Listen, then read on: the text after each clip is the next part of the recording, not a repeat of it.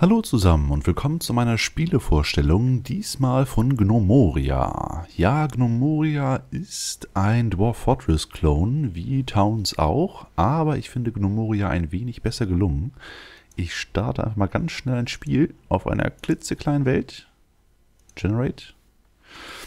Der große Vorteil von diesem Spiel gegenüber Dwarf Fortress ist die Einsteigerfreundlichkeit. Denn wie ihr sehen könnt, es gibt Grafik, keine Ts für Bäume und B für Büsche. Nein, richtige Tiles und Grafikpack, der das Ganze sehr einfach zu gestalten lässt. So, hier haben wir jetzt unsere Gnome, keine Zwerge.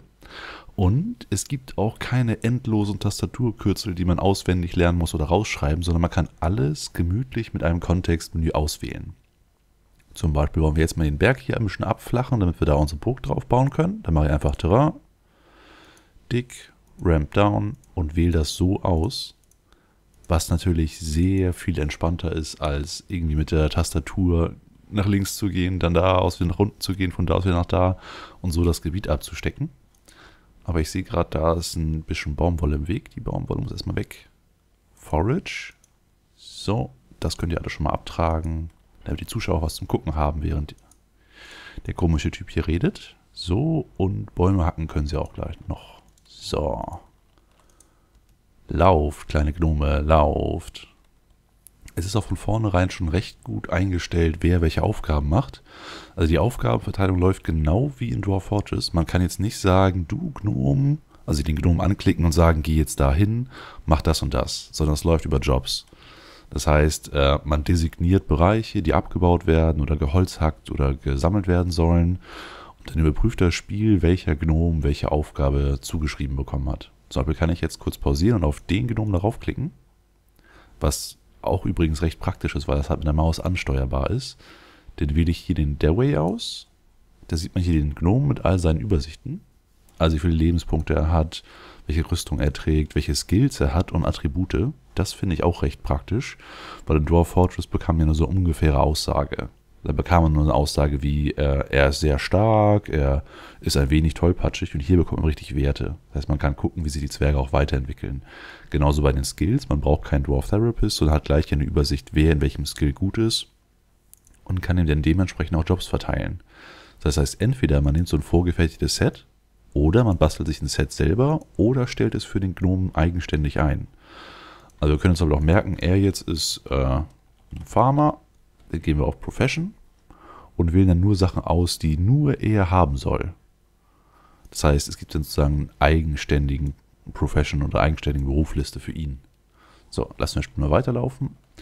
Der Nachteil an dem Spiel ist, es ist noch ein wenig unterstabil. Also es gibt momentan in der Version solche Probleme mit den Speicherständen, die können ab und zu irreparabel beschädigt werden. Aber das soll in der nächsten Version gleich gehotfixt werden. Allgemein gibt es auch nicht ganz so viel Auswahl an allem. Also es gibt nur eine begrenzte Anzahl an Nahrung, es gibt eine begrenzte Anzahl an Holzsorten, eine bestimmte Anzahl an Steinen, Tieren, Gegnern und so weiter. Das heißt, es ist bei weitem noch nicht so komplex wie Dwarf Fortress. Aber es hat sehr viel Potenzial. Ich werde es auf jeden Fall weiter verfolgen. Ich spiele es ja auch privat ein wenig.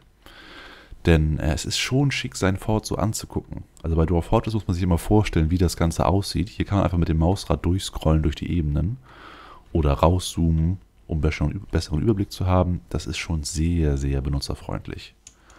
Äh, ein Haken hat es aber trotzdem noch, und zwar das ist genau das, was es eigentlich auch gut macht, nämlich die Maussteuerung. Da ich jetzt so viel Dwarf Fortress gespielt habe, bin ich es echt gewöhnt, ganz schnell auf der Tastatur irgendwas einzugeben und dann Bereiche zu designieren. Hier muss ich halt echt jedes Mal im Kontextmenü das Richtige auswählen, runterscrollen, hinscrollen, dann drücken und dann kann ich erst was designieren. Was äh, doch recht nervig ist. Aber es ist wahrscheinlich nur eine Gewöhnungssache. Ich hoffe einfach mal, dass sie nach und nach auch ein paar Designationen über Tastaturbefehle ansprechbar machen. Dass man halt das Beste aus beiden Welten hat. Wenn man schnell irgendwas machen will, macht man kurz Tastatur und für die komplexeren Sachen kann man ja immer noch die Maus benutzen.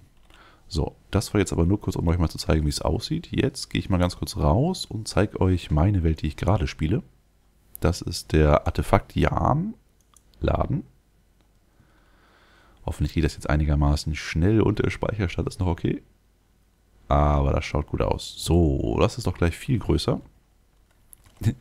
Dieses kleine Fleckchen Erde hier habe ich mir untertan gemacht. Also erstmal nur eine Sandmauer oder eine Sedimentmauer drumherum gesetzt. Jetzt bin ich hier gerade dabei, eine Steinmauer hochzuziehen. Und das Muster dürftet ihr auch kennen. Das sind die 21 x 21 Felder aus Dwarf Fortress. Und dann kann man halt hier runter scrollen und dann hier die einzelnen Etagen sehen. Zum Beispiel hier ist meine Holzverarbeitung, hier ist meine Steinverarbeitung, hier kommt meine Schmiede später hin und hier oben haben wir irgendwo meine Brauerei. Ja. Die Workshops sind auch recht ähnlich wie bei Dwarf Fortress. Äh, mit der Ausnahme, dass man halt andere Sachen braucht zum Herstellen. Zum Beispiel brauchen Betten auch wirklich Stoff. Man kann nicht einfach mehr Stein nehmen und daraus ein Bett äh, schustern. Das ist schon ein bisschen durchdachter. Und auch so eine Sachen wie Bäume kann man anpflanzen direkt. Das finde ich sehr praktisch. Das ging bei Dwarf Fortress ja nicht. Da musste man irgendwann hoffen, dass man im Untergrund auf die Kaverne stößt und dann an der richtigen Stelle einen Baum sprießt. Hier kann man Setzlinge von den Bäumen abnehmen und dann da anpflanzen, wo man es gerne hätte. So kann ich dieses Fort auch später total autark halten, indem ich dann halt hier die Apfelbäume pflanze, dann ernte ich die, Erd äh, die Äpfel ab.